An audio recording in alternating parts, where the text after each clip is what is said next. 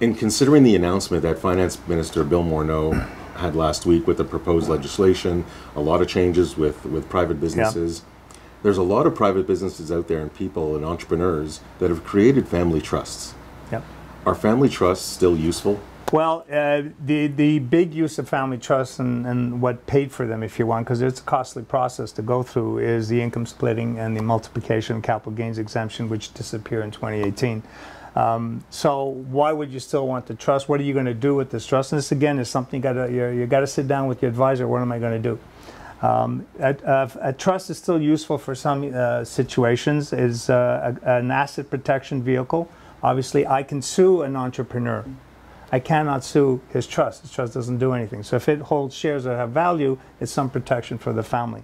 Um, if an entrepreneur passes away and was intending to leave shares to a family, well, a trust doesn't die as an entrepreneur may die. It will allow the intergenerational transfer of the shares to the children. Um, and, and lastly, uh, another benefit would be if you have uh, children or, or beneficiaries of a trust who are incapable or disabled and it's best to have the trust to hold these assets for them and to take care of them uh, going into the future. So it's not just tax considerations. There, there are, other considerations. There have always been other. As so long as trusts have been around, there's always other considerations, and that has to be discussed with your advisor to determine if, whether or not you keep the trust going forward.